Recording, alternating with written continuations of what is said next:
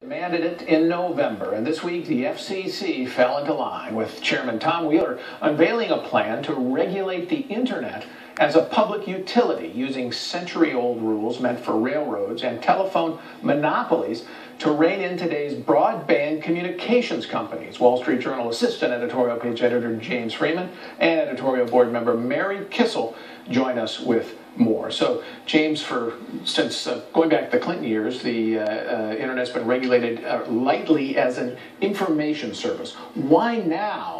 Change it to uh, a potential monopoly regulation? That's the question because this policy has worked so well. It's become this amazing instrument of international and interstate commerce. So, what the president is proposing, and now the FCC is going to implement, is a massive, expensive solution to a problem that doesn't exist. It's a, it's a theory that, uh, that uh, your, uh, your traffic on the internet is going to be blocked and you're going to be discriminated against as a customer. And this got a lot of legs with a very misleading uh, uh, internet uh, video and TV show from a comedian named John Oliver last summer.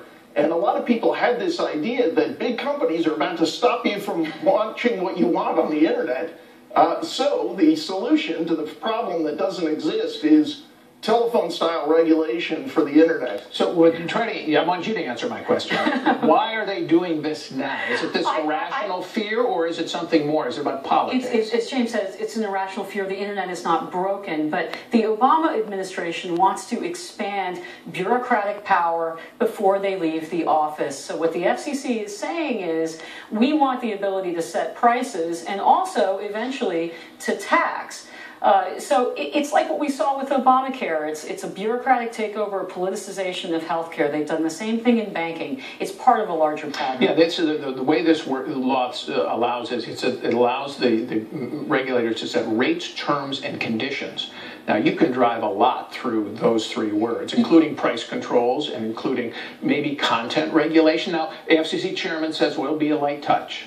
Yeah, he's promising forbearance uh, for now on the taxes and the, and the price setting. Isn't that what they all say? That's what they all say. It's, like it's a massive shift in power, and it's you're asking where is this coming from? It's basically it's an unholy alliance between progressive activists and Silicon Valley, which is progressive activists like uh, they like the, the, the political control that Mary mentioned. Right. Okay. What about Netflix, Amazon, Netflix, and Google, YouTube, and, and these? What's well, in for them? Well, Google Google had a change of heart here because the irony is the, the administration says, well, you know, we want to help the little guy, but by uh, increasing regulatory uncertainty, what are they going to do? They're going to help the big incumbents. Verizon, Comcast, all the people who are entrenched who have big lobbying interests in Washington, and Google is a great example. Google is trying to compete with these people. So now and all of a sudden, now Google is against this. Well, so what, what, what is in it though for these companies like Netflix, which is a huge share Netflix and web traffic uh, together uh, generate more than half of internet traffic. Okay. What they don't want is to have to pay for that service that they're using at market rates.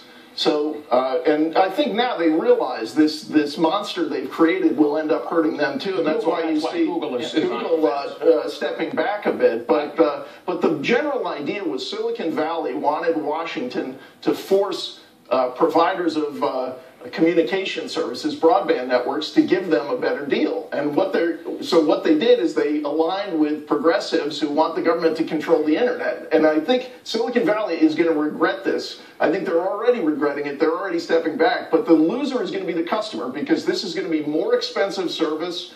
less innovation. I mean, the old telephone system, a lot of the young people who are into this movement don't understand roughly a century, the technology did not change. You had a choice of a phone, either black or very black.